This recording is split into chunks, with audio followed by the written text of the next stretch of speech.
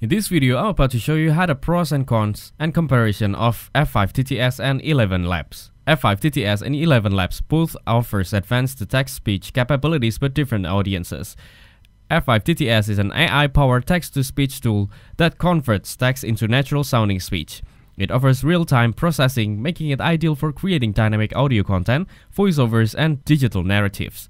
It is ideal for high-volume TTS and corporate environments due to its large-scale application support. The cons include F5 TTS has a higher price point, making it less accessible for small businesses. The setup can be complex, needing IT resources, which may be challenging for small teams. ElevenLabs is a text-to-speech platform known for its incredible realistic and expansive voice synthesis. It is known for high realistic, expressive voice synthesis, also ideal for creative projects and storytelling. The interface is intuitive, making TTS output quick and easy to produce. The cons include that it lacks enterprise-grade data security, making it less suitable for regulated industries.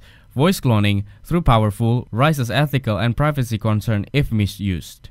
In my opinion, ElevenLabs offers superior voice quality and versatility, while F5 TTS focuses on affordability and speed for basic application. Thanks for watching, don't forget to like and subscribe.